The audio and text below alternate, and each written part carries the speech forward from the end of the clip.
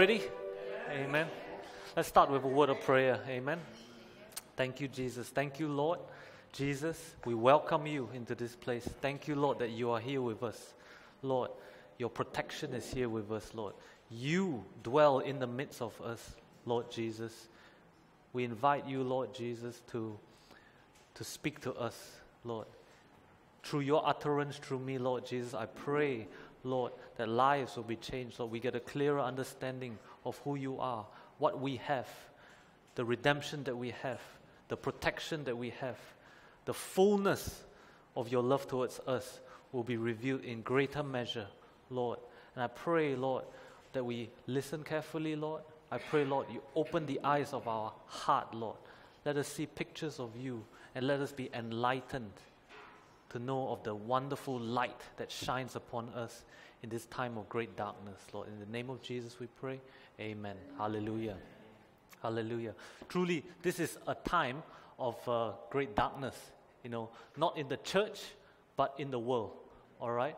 You, you, you look on the news, um, re- most recently you would see coronavirus or tragedies going on, um, lots of disasters. And you shouldn't be surprised about these things because if you are of the Spirit or you've been um, understanding the time and season that we're in, this is truly the last days. Uh, it shouldn't surprise you that these things are occurring.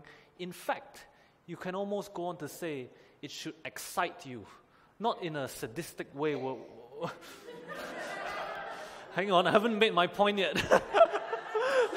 not in a sadistic way that ha ha ha people are suffering, but it's more of a it's a fulfillment of a prophecy where it says there will be deep darkness in the world. Amen.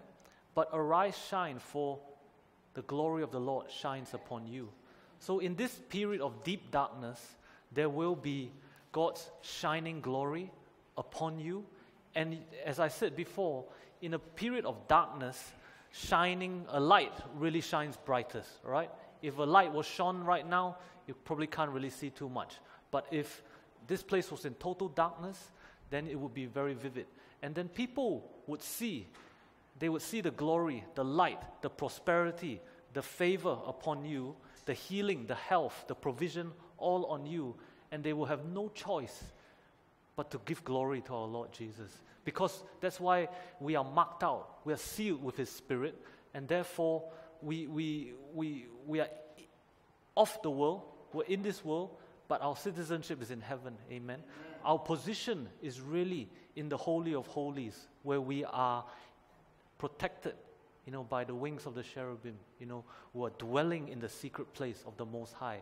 And in that secret place of the Most High, no evil, no terror, no arrow, no plague can ever come near you. All right?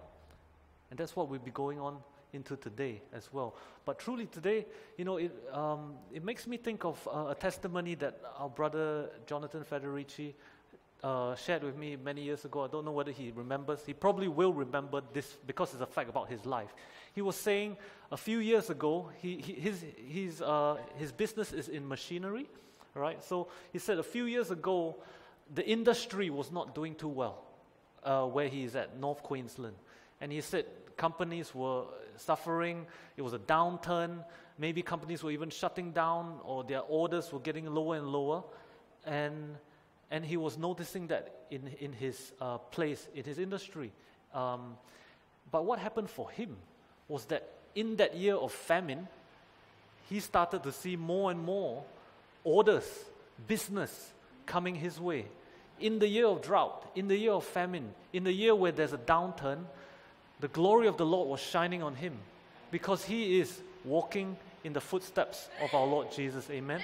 I know him very well. Well, maybe not as well as maybe uh, I should, but you know, I have a clear understanding of his heart, his spirit, and I know his, his, his eyes are always on the Lord. And when his eyes are beholding the Lord, he's following, he's walking in the footsteps of the abundance, you know. And that is many years ago. This and this is what we should be expecting. That's why I say we should be excited. You know, while the things outside are bleak, are dark, are sick, we will actually go from glory to glory, shine brighter and brighter. You're getting healthier and healthier. Your marriage is getting stronger and stronger you, you, and you, when you do your gym, your husband can't help but join you. Amen. I don't know who's leading who there, but you know, I always I'm very, uh, I'm a follower of your exercise videos. Uh, not that I do it though. Um, but that is the, the, the true fact. And we are singing today because of your love.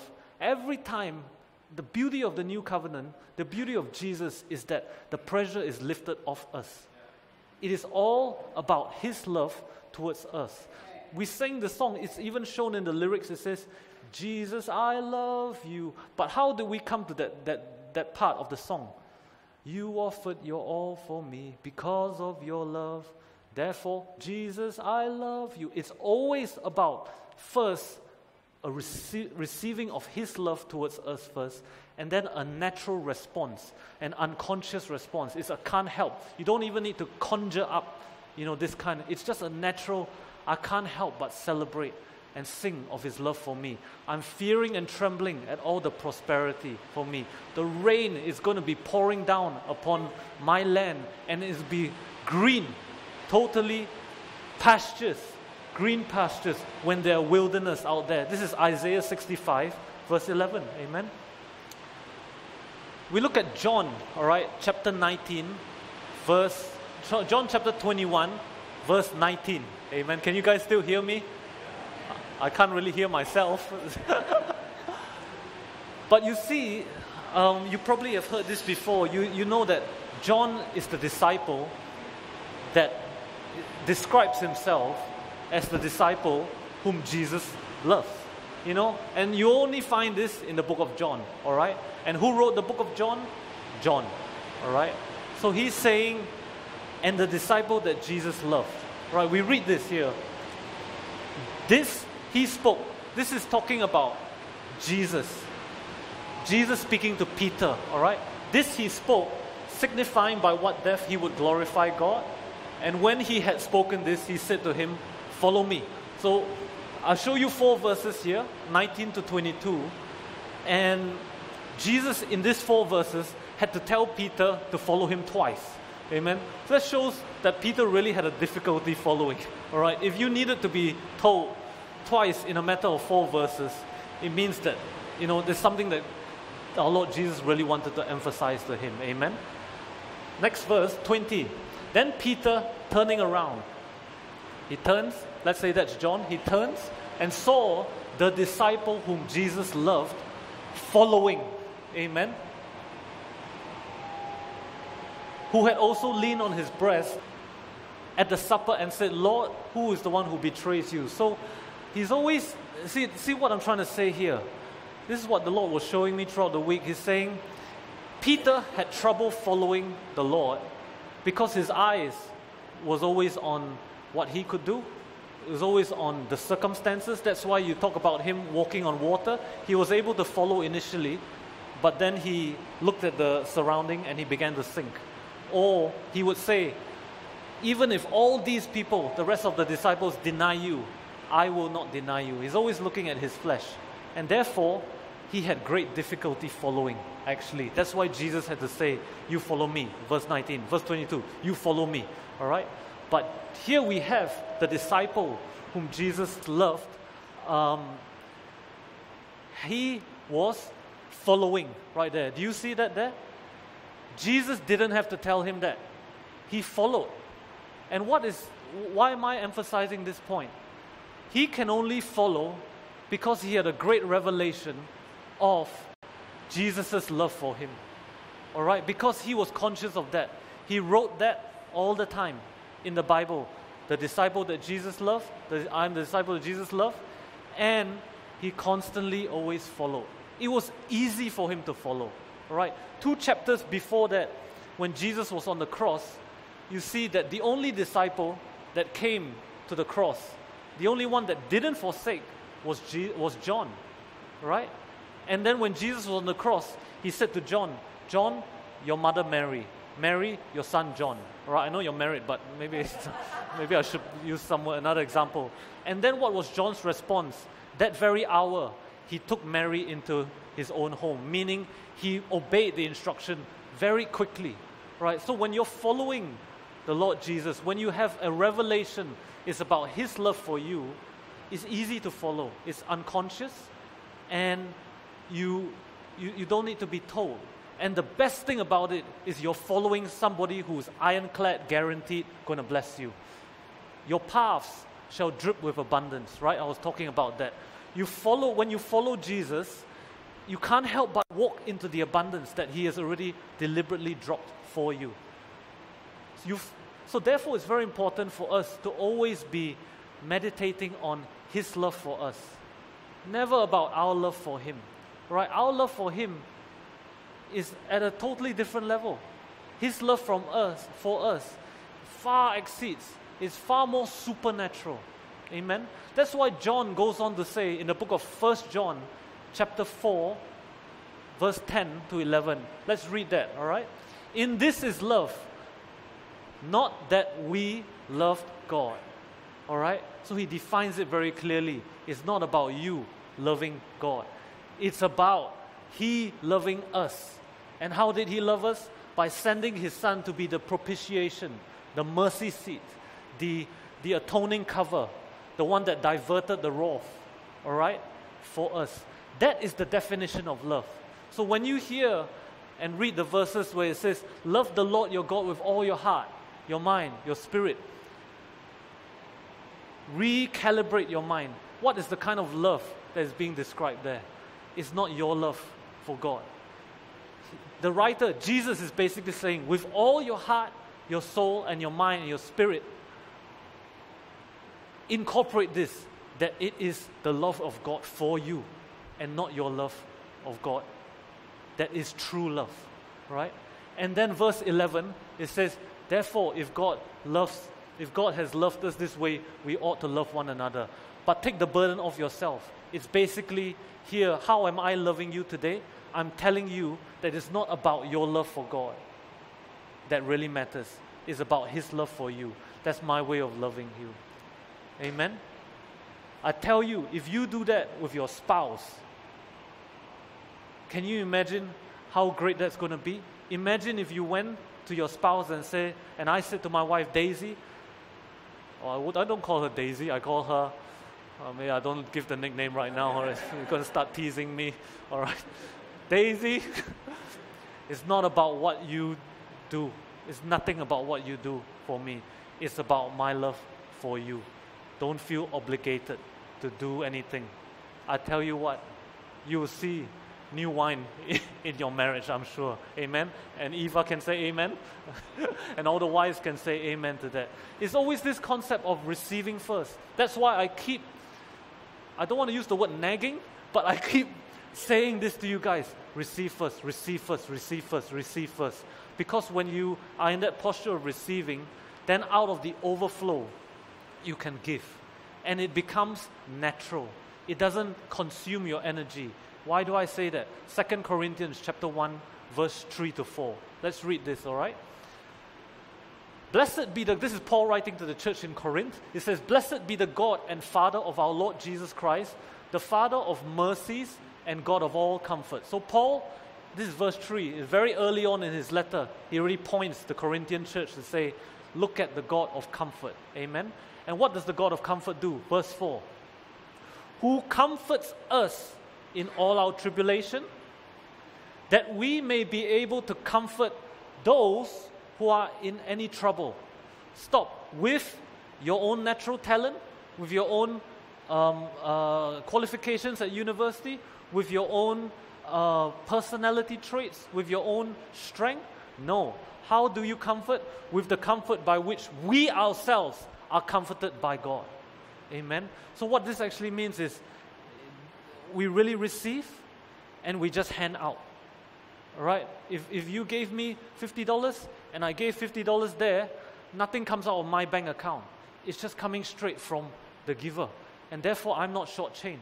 Amen? But this is the way, when I saw this, I was so happy, you know, because it's really um, reiterating what our position is in the new covenant. Receive first, and with that comfort, give. This week has been a trying week for me, frankly speaking. All right? I needed to be comforted by God.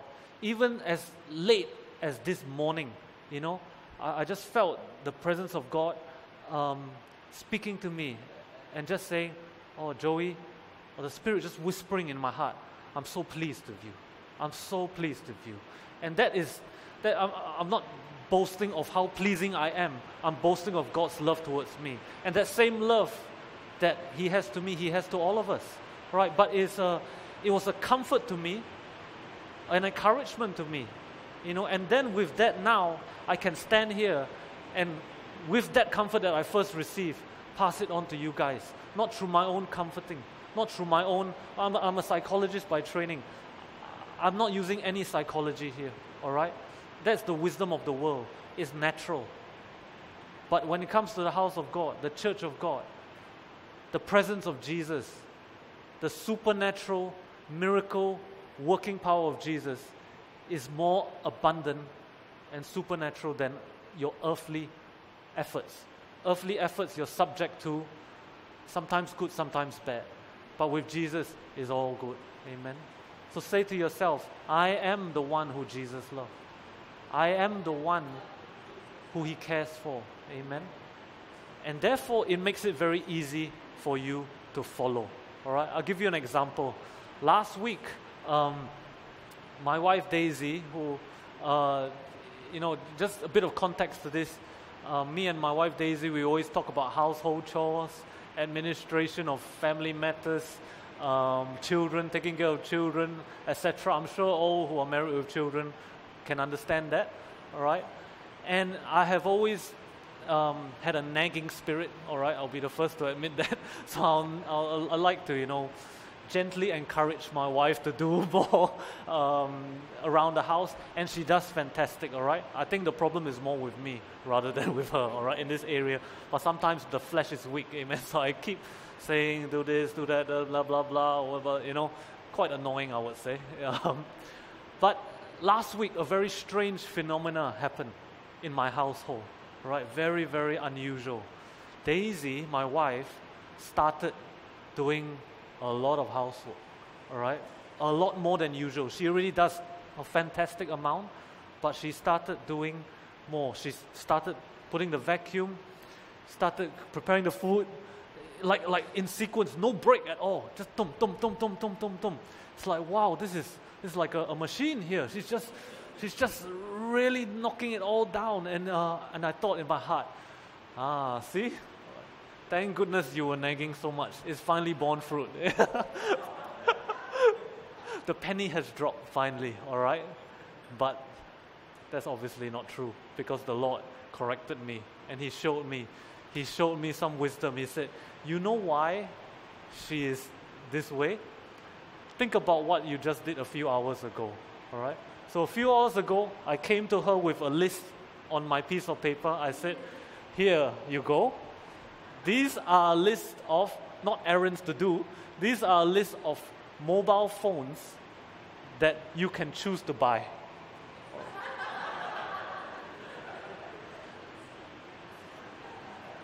because she had told me her mobile phone had run out of memory, she loves to take a lot of photos, you know, and videos, and she, using an iPhone, it doesn't have enough space, blah, blah, blah, all right?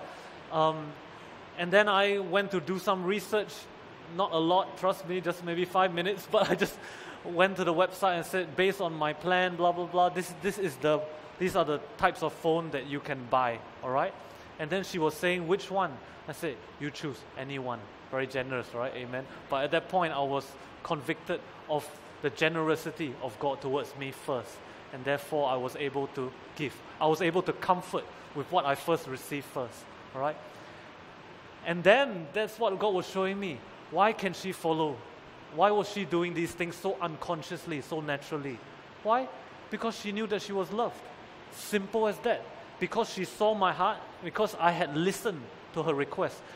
Just clarify, she's not a materialistic person. In the end, she didn't choose the most expensive or latest model. She just got something that had the most memory, all right? Um, and did the job. But what I'm trying to say is she heard and she felt that I loved her and cared for her. And then naturally, she just started doing all the things, you know, uh, vacuum. She had a mask on, can you imagine, while cleaning out the vacuum cleaner. She doesn't have coronavirus, by the way, but she had a mask on to just protect herself from the dust. All right, that's how conscientious she was. But the Lord was showing me it's not because of your nagging, it's not about your instruction, it's simply about your love for her, which helps her follow. All right? And it's always about that. Uh, it, psychologically speaking, and this is where my training, my earthly training as a psychologist, you know, I can tell you about some very, very um, harmful psychologic, psychological conditions that come when this whole concept of love is reversed. All right? We should be receiving love from our parents the nurturing, the support, the comfort, the physical provision all the time.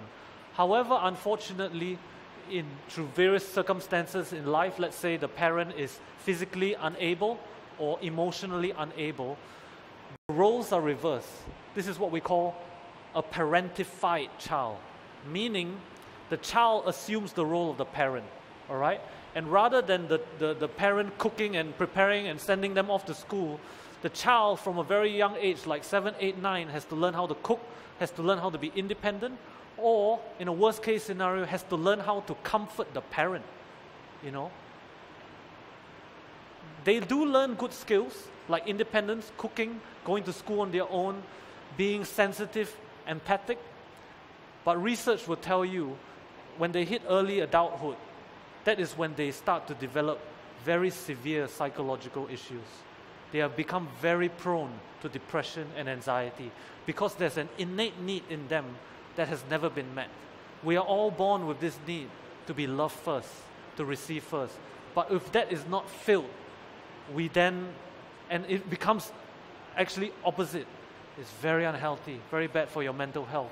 So, therefore, the solution, I will be doing you a disservice here if I'm, I'm just preaching all about you need to do this for God, you need to do that for God. I'm putting you into depression, basically. I'm putting you into, in, into, into works, into the law, and you will not inherit the true goodness. Amen? It is all about dependent on Him giving to you first, Him buying you out, Him redeeming you, Him going to the cross for you, and you just in that posture of receiving, receiving. Amen? Everybody understand that so far? Everybody in agreement with me? That's why your husband, Toa, was saying, Oh, it's about his forgiveness, all he's done for me. No point in his prayer was, Thank you, Lord, for all that I've done for you. Thank you, Lord, that you know I went to church last week and, and I took communion three times a day. It, you know, it's not about that. He had the revelation, oh, or his eyes were open, or oh, Jesus, this is how much you care for me. This is how much you care for me. So when you know how much you are loved, it's easy to follow. Amen. And that brings me to what I want to talk about today. or shall we close in prayer? see, see how the Spirit leads us, amen? Eh, um, I just have to follow myself. I have to stand here and just be conscious of His love for me, amen? Uh, suffice to say, that is the only thing that really sustains uh, anybody ministering. Amen. But it brings me to this story of Boaz and Ruth that I want to go through today. I probably can't go through everything, but Boaz and Ruth is a beautiful story. And two weeks ago, when I talked about Caleb, uh, how many of you remember what I was saying about Caleb? Caleb has a following spirit. Amen. And a following spirit, as we see in Numbers chapter 14, verse 24, this is how God describes Caleb in my servant Caleb is a different spirit or a following spirit. And the root word for that is he remains behind. Aka, acha, de- delay, hesitate, remain behind, procrastinate. Basically, he lets somebody go ahead first and then he waits. It's a picture of somebody not working in the flesh. All right? Somebody is happy to keep the word of God within him follow the direction, follow the leading, follow the gift that has already been given to them. Amen. And we see in the story of Ruth, chapter 2, verse 7, we see Ruth with that same word described there. And in, in four places, in fact, if you read the story of Ruth, you see She follows, she follows, she follows, she follows. Chapter 1, she follows her mother in law Naomi. Chapter 2, she says, I will glean after the reapers. Means I will follow whatever they are getting the barley, the wheat, whatever drops, I just pick up. I let them go ahead first. I don't go ahead and try and do their job. You know, I let them do the work for me, basically, and I just pick up. You know, and she is described as having a following spirit. Amen. And this is this is what I'm talking about. The following spirit, the waiting, you know, allows us to receive bread. Amen. Because when we follow, the grains drop on our road. All right? He is baking bread for us. He desires to break, bake bread for us.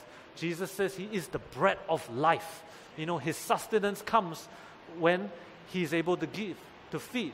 All right? He's always saying, You give them something to eat. When He resurrected the, the, the, the little girl, after she came to life, He said, Now give her something to eat. So His heart is always to give spiritual food, but also physical food. He is the bread of life. That's why it says, Your forefathers in the wilderness ate manna, yet they died. But he says, I am the bread of life. Whoever eats of me shall not perish. All right? The manna is not the true bread. He says he is the true bread. All right? And it comes when you have this following following spirit, a waiting spirit. Just wait for him to drop the bread for you and pick it up and receive. Bread speaks of prosperity, growth, being strong. Amen. And overcoming challenges. Numbers chapter 14, verse 9, you see what Caleb says. He says, Only do not rebel against the Lord, nor fear the people of the land, for they are our bread.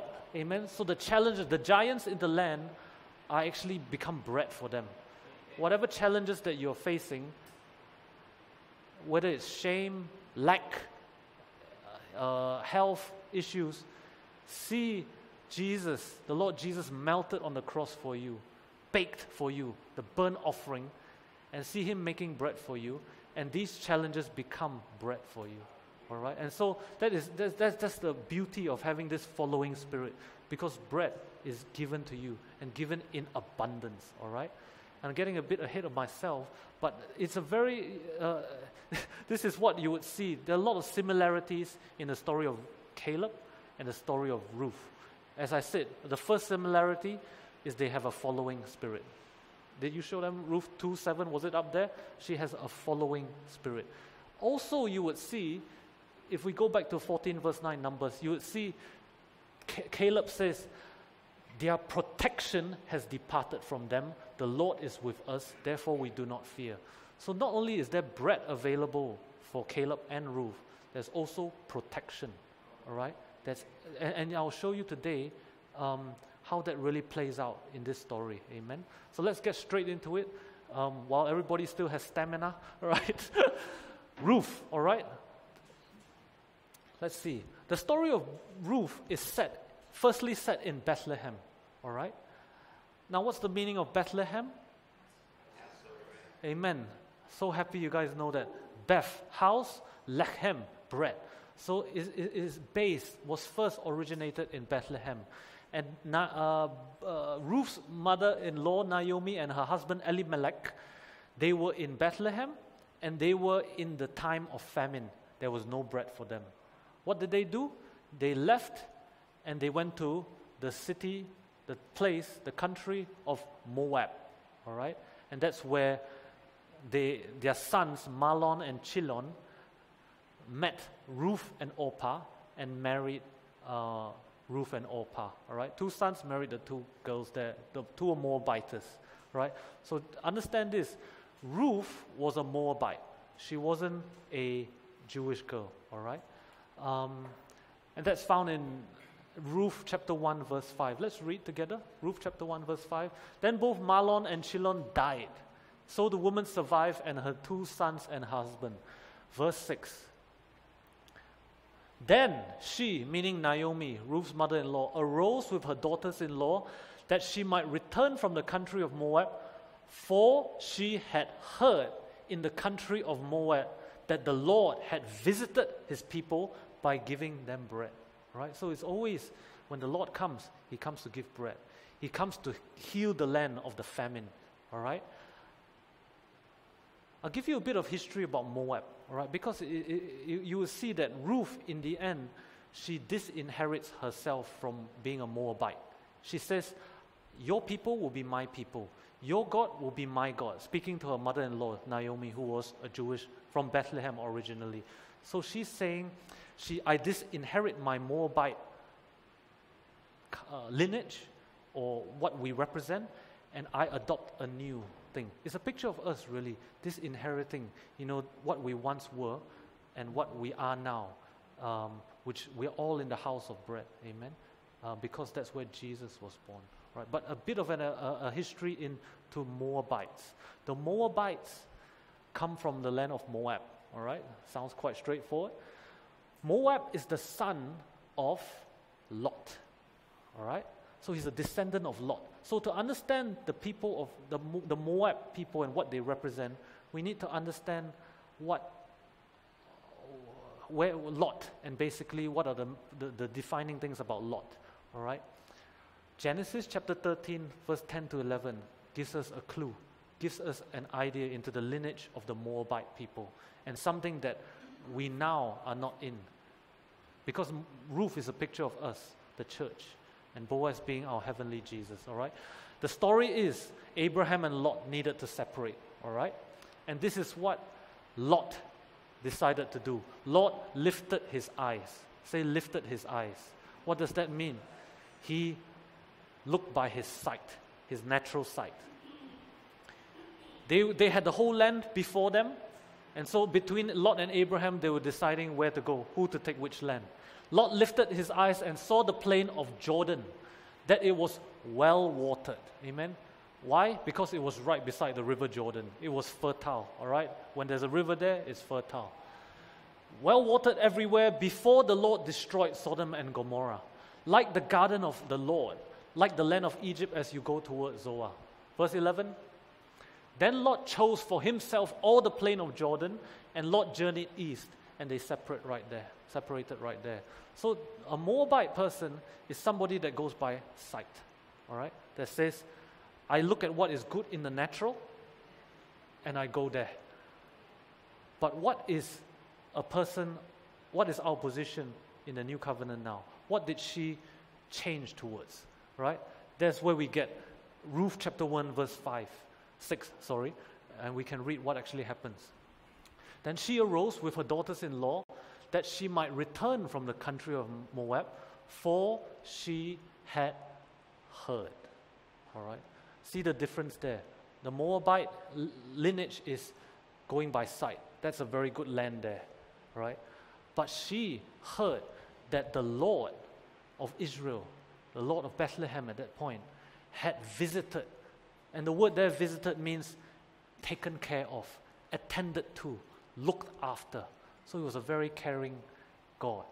All right? And so that is our position right now. Faith comes by hearing, and hearing the word of Christ. So when we sit here or in our private time at home, hear the love of Christ from us, we actually transition from moving by sight to going by faith. And when we're in that position of faith, you know what happens? Chapter 2 happens. All right? And let's go into chapter 2. Verse 1 There was a relative of Naomi's husband, a man of great wealth. In the King James, it says, mighty and rich. Mighty meaning he had a lot of bread, right? Very strong and rich. Of the family of Elimelech, his name was Boaz. All right, so everything in the new, in the Old, Old Testament is hidden pictures of Jesus. You might have heard Pastor Prince say that, and I'm sure all of us are students of that. We want to see more and more of Jesus, right? Boaz represents our Lord Jesus. Amen. And he was a very rich man. He was full of bread. Amen. Verse 2. And Ruth, the Moabitess, said unto Naomi, Let me now go to the field and glean ears of corn after him, whose sight I shall find grace. And she said, Go, my daughter. Amen. So she, she had this confidence. Why does she have this confidence? She firstly she had heard that the land of Israel, the land of Bethlehem, was very was starting to be taken care of by the Lord again.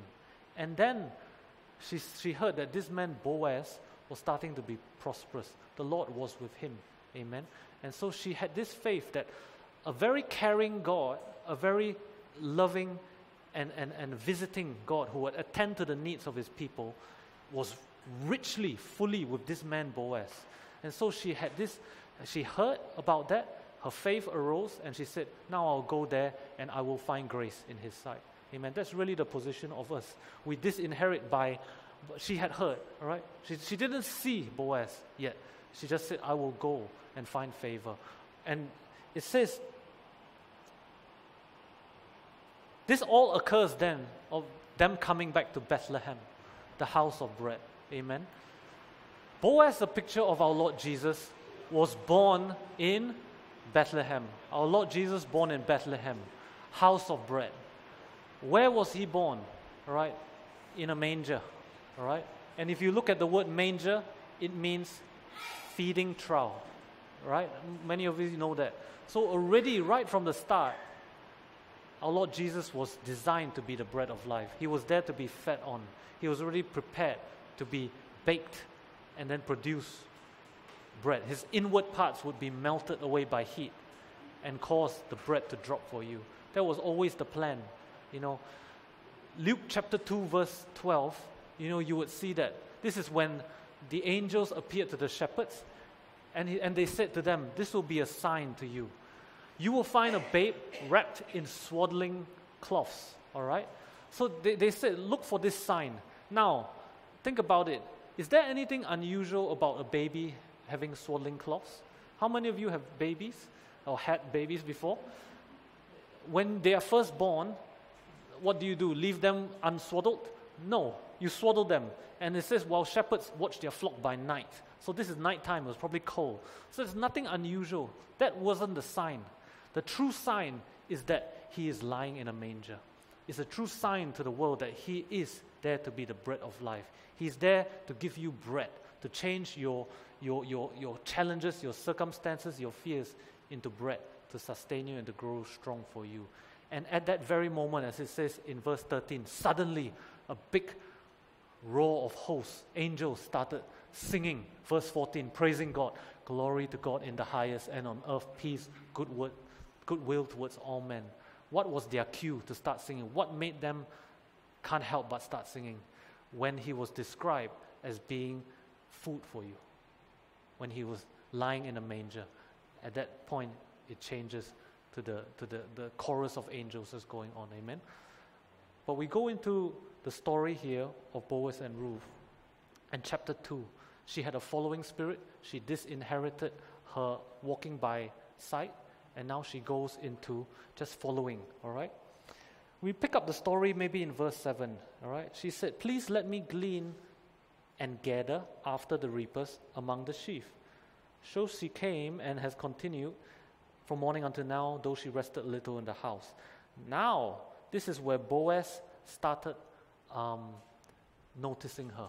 He says, verse 8 Then Boaz said to Ruth, You will listen, will you not? So, very quickly, he says, Listen, listen to my word, all right?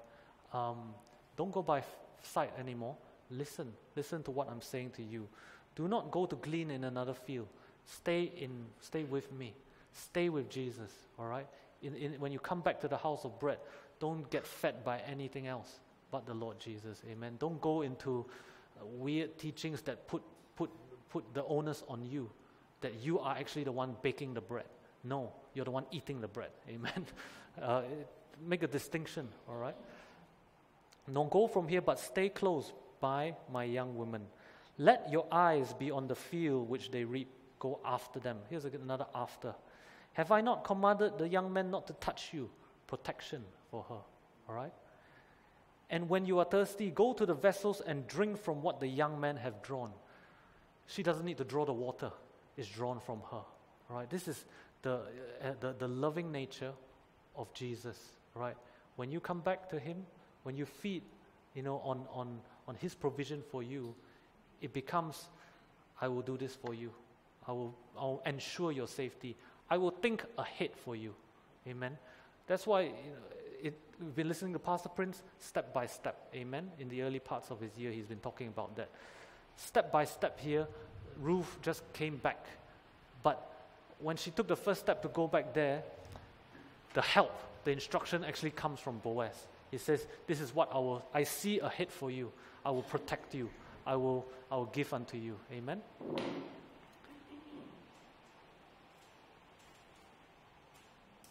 Verse 12 The Lord repay your work, and a full reward be given to you for the Lord, God of Israel, under whose wings you have come for refuge. All right?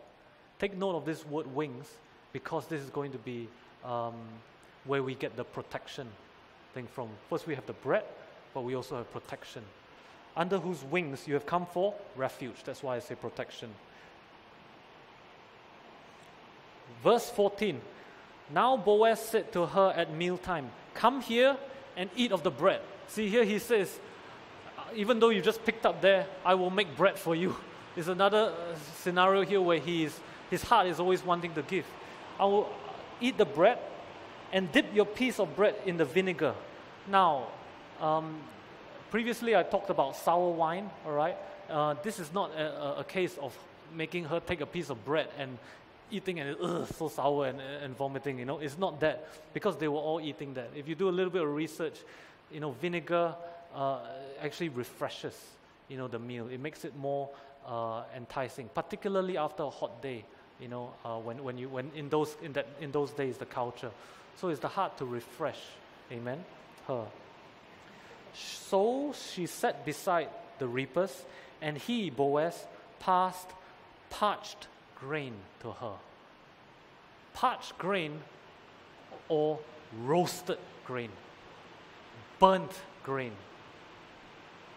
And if you look at the dictionary, it means when you burn something, you dry something out, and it shrinks and becomes like dried food for you. Whether it's bread, dried fruit, or whatever it is, it's a picture there of what is always served to you by our Lord Jesus. His own body burnt for you, dried up for you, for your sustenance, for your life, for your strength. Amen. Roasted grain. It makes you think of fat ashes, right? When I talk about that, the burnt offering, how Jesus was the burnt offering for us. Now, this is something that I really want to highlight. The end, the last part of verse 14. And she ate and was satisfied. Amen. That means she ate. It was nice, eat, nice to eat. It was also uh, satisfying. Means she had enough. All right. Why did she have, have enough? Because she kept some back. All right maybe she was, this is not some uh, Weight Watchers program or something like that. She really ate to a point where she was happy and then she kept some back. Now, remember early on I said, God gives us the comfort first, then we can comfort others. This is something that we can see right here with what's going on. All right? We skip a little bit down to verse 17. All right? It says, She continued gleaning and she beat out what she had gleaned, and it became an ephah of barley. Then she went back home. Then she went into the city where her mother in law was. She brought back and gave to her. Now, what did she give her? Did she give to her what she had beat out and gleaned from? No. She gave to her what she had kept back after she had been satisfied. She received the overflow and she gave she kept whatever she had worked for. In fact, the Bible doesn't really talk too much about what she did with that. It's not important, I believe.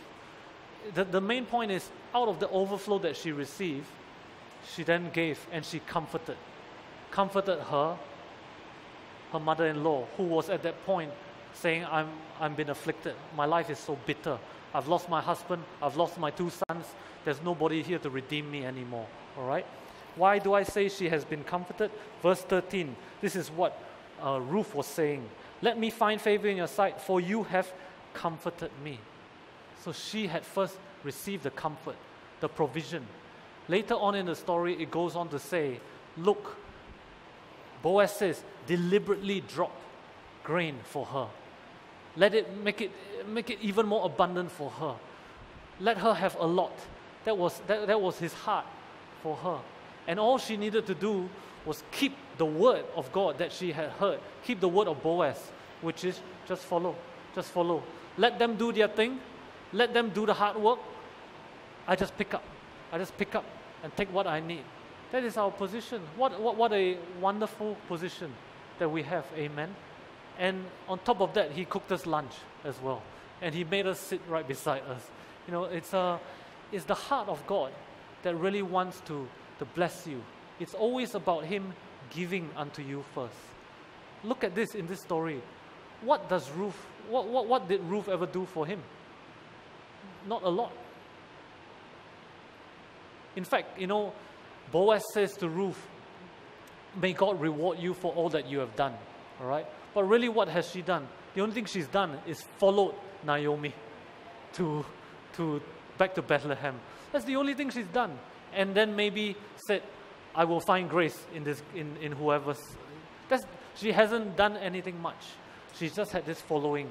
And therefore, this is what Jesus says to you. May the Lord reward you. May the Lord give you the full reward. All right? So she worked on her own. She had one ephah of barley. All right? Later on, you would actually see that Boaz gave her six ephahs. Ephahs, what am I saying? Measures of barley, okay? One, six. What's six minus one? Five, all right? Whatever she had worked for compared to what Boaz wanted to give. Boaz giving was five times more, plus five, more than what she could ever produce. Amen? Uh, you, you see that in the book of, in the chapter number three. Amen? How are we all going? I want to close with this something very uh, important. Um,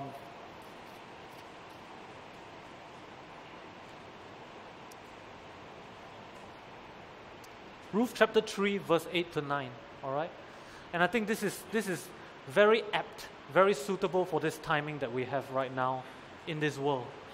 I'm sure when you read about the difficult challenges out there in the world, your heart may be a little bit scared, a little bit uh, worried, all right?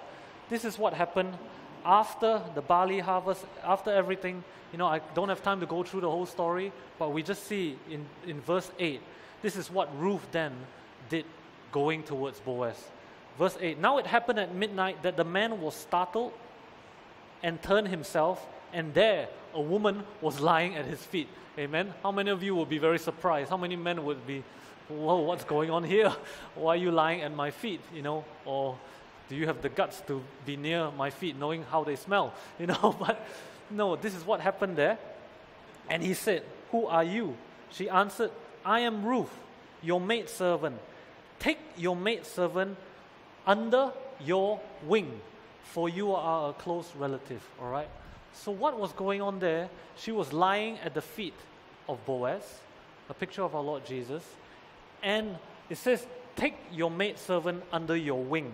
Literally, what that means, spread the corner of your garment over your maidservant. All right, I said that again. When she says, Take your maidservant under your wing, it literally is written there, if you look at the translation, spread the corner of your garment over me. That is a picture of, in those days, when somebody does that, he says, I will protect this person. This person is mine. All right? This person belongs to me. I will redeem this person. All right? But what I want to focus right there is this word wing. All right? Um, do I have the word there? Wing, the edge, the corner of the garment. All right? Psalms 91, verse 1 uh, is a very is a verse that has been used quite a lot, especially in this time of you know pestilence, coronavirus, whatever virus. Amen. Let's read Psalms 91 verse 1. He who dwells, dwells in the secret place of the Most High shall abide under the shadow of the Almighty. Amen. And maybe some of you are already connecting some of the dots here, and I'm very happy to see that. Um, the word shadow there is Tsel, T S E L. Um, it is, it is is called the secret place of the Most High. All right? And this is where I believe it is talking about the position underneath the cherubim. All right? The secret place of the Most High. You know, show them a picture of the Ark of the Covenant if you could. Right, this is a picture of the Ark of the Covenant. All right, he that dwells in the secret place of the Most High shall abide under the shadow of the Almighty. All right. So in those days, what how it would often appear is that when God came down to meet with His people, He would sit. He says this is His throne. Literally, He would come down.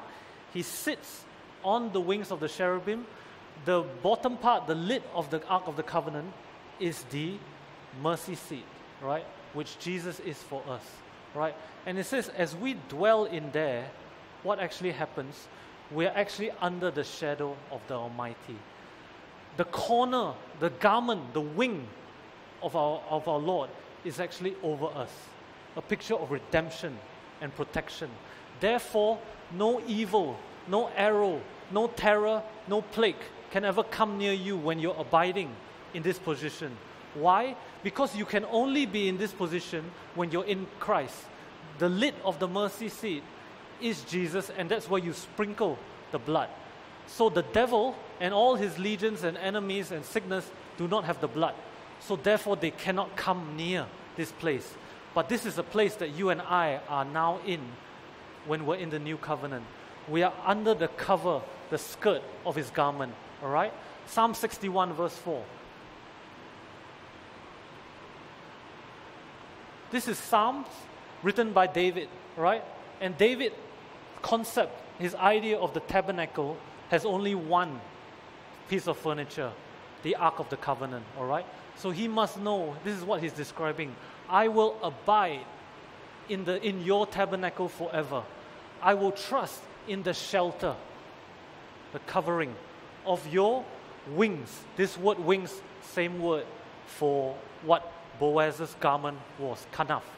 The edge, the extremity, the skirt, the corner of the garment was covering them. He says, I will abide there. Selah, rest. Psalms 27, verse 5. For in the time of trouble, he shall hide me in his tabernacle, pavilion, in the secret place, all right, of his tabernacle, he shall hide me. All right, so this is when we are when we Christ has become the mercy seat for us. Amen.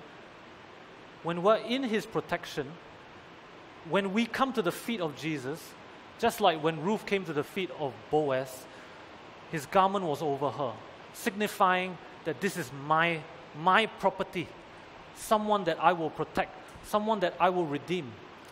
And if you look at the imagery, when we come to the throne of grace, through which we have access to our Lord Jesus, we are now underneath the wings of the cherubim. We are overshadowed with His protection. Amen? With His security. It's a secret place. It's a secret place.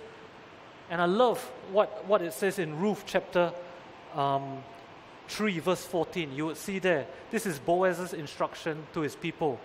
Do not let it be known that the woman came to the threshing floor. He's saying, keep it a secret right? This is her secret place right there. Verse 13, stay this night, right? Stay. I want to highlight this word stay. It means dwell overnight, all right? That's what it basically is saying. Stay this night. Psalms 91, verse 1. We go back to that. Sorry, I'm jumping all over the place, but Psalms 91, verse 1. He who dwells in the secret place of the Most High shall abide. This word abide is the same word stay. The same word that it says stay the night.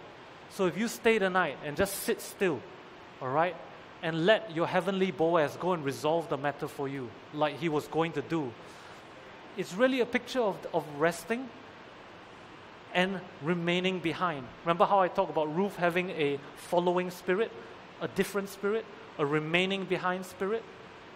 Basically, then he, she allowed her Redeemer, Boaz, to go and do the work for her, to do the redeeming work for her. That's why it says in Ruth chapter two, 3, verse 18, this is Naomi's instruction to Ruth Sit still, my daughter, until you know that the, how the matter will turn out. For the man will not rest until he has concluded the matter this day. That means when you're sitting in the shelter of the Most High, all right, God is fighting your battle for you. He is the one that goes out there. He's the one that resolves it for you. He will not rest until he sees to it, until he gets it done.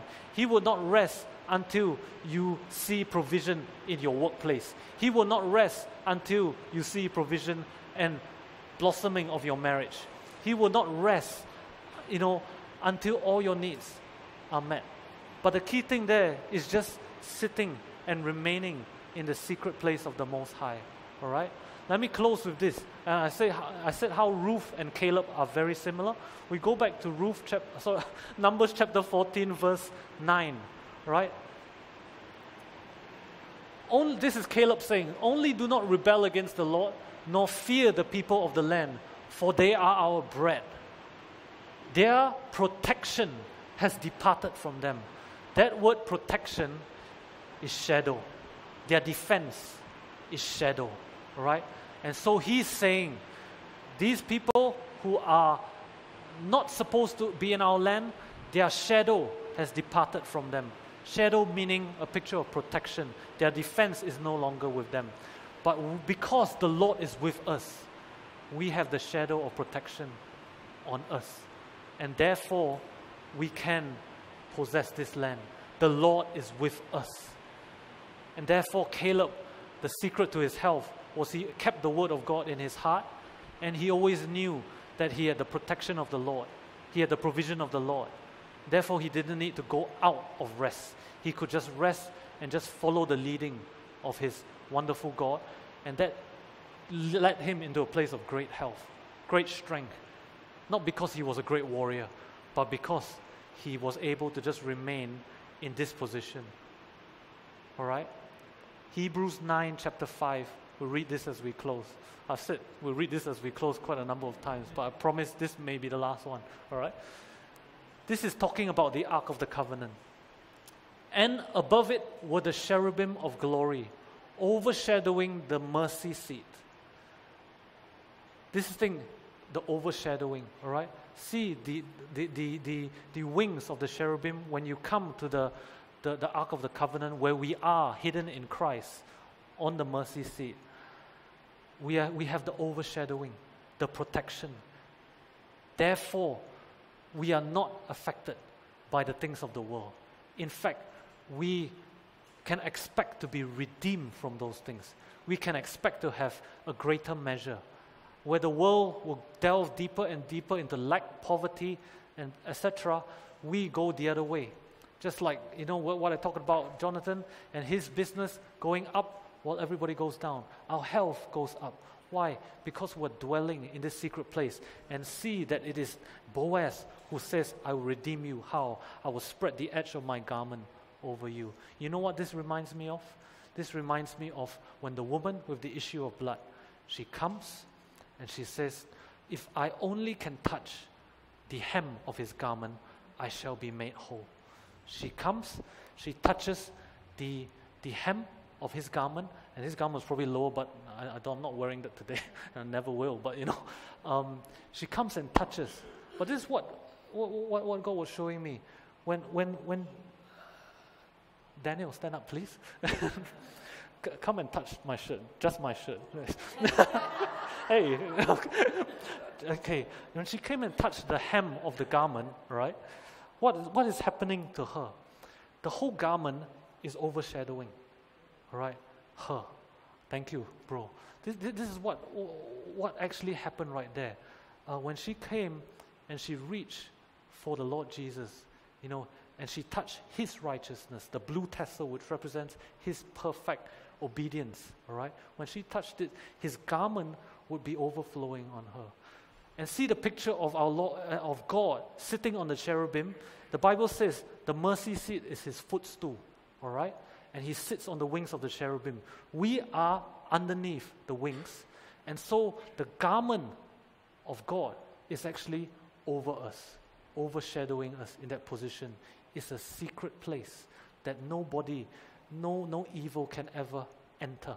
Why? It is blood bought. It is covenant. The life is in the blood. It is all there for us. All right? So be confident, be assured that your health is going to get better. It's not going to get worse. Be confident that you will walk in paths of abundance. But just follow. I started off by saying it's, e- it's easy to follow when you know that you're loved. Amen. Firstly, feel the heart of your heavenly Boaz for you that says, I will redeem you, and I don't mind redeeming you if it means I have to redeem all these people as well. All right? I will pay the price. Um, I will do it. I, I will not rest until I ensure that you come under my covering. Amen. That is our Lord Jesus, his heart for you. Just one look at him, and he wants to bake bread for you. Remember that Song of Songs, chapter 4, verse 9? You have ravished my heart. This is, this is Solomon speaking to his bride, his beloved bride. Just one look at you, and I want to bake bread.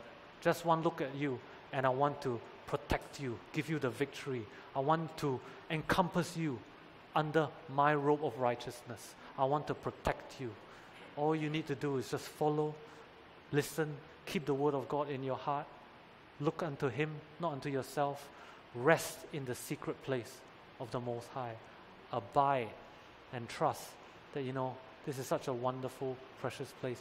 That is what I've been trying to be doing this week, you know, just reminding myself of, you know, and, and in that place is not just protection, it's intimacy. Is, you know, he, he, you, can, you, you can meet with God face to face and you can talk to Him. You can talk to Him about what's troubling you. You can talk to Him about what is frustrating you.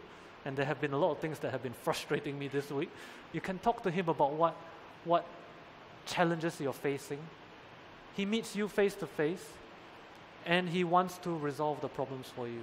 He wants to serve you bread. What a wonderful Savior. That's why your husband will be saying it's all about His sacrifice. And today I hope you have a, a, a greater understanding into the, your position. You know, sometimes pictures can help us see a little bit our position. We, are, we have gone through the veil. That's why we sang this morning. You tore the veil. You made a way. Made a way into where? Into the Holy of Holies. What is in the Holy of Holies? The Ark of the Covenant. Therefore, we have bonus to enter the throne of grace. And where are we in this throne, throne room? We are seated in Christ. And the Bible says Christ has been made for us a propitiation, a mercy seat for us. So we are right there under the wings of the cherubim, and the overshadowing is upon us, and His protection is upon us. His safety, His intimacy. No evil, the world cannot touch that. It is sacred, it is so strong, it is supernatural. Amen. Let's close in prayer this morning. Hallelujah. Dear Lord Jesus, we thank you, Lord, that it is about what you have done for us. We thank you, Lord, that we can dwell securely, safely in all that you have already accomplished for you. We thank you, Lord, that we are hidden in your secret place, hidden like a special treasure, hidden like something that is precious, not just hidden that some, like something that we want to not look at, but hidden as precious, valuable things in your sight. We thank you, Lord, that we have provision, bread for all our challenges. We thank you, Lord, that we have your, your supply, your intimacy, your care, Lord. No evil, I proclaim that upon each and every one of us this morning. No evil, no arrow, no terror, no plague shall ever come near you in the mighty name of Jesus that has already been done for you. Lord, we see us seated with you under the shadow of the wings of the Almighty, protected, supplied, safe. Lord, and we rest knowing that you are the one going to do the work for us. You are fighting our battles. You care for us, Lord. So I speak the blessing upon each and every one of you this morning. May the Lord bless you and keep you safe under the, the shadow of His almighty wings. He keeps you safe from all areas. He keeps your business safe. He keeps your children safe.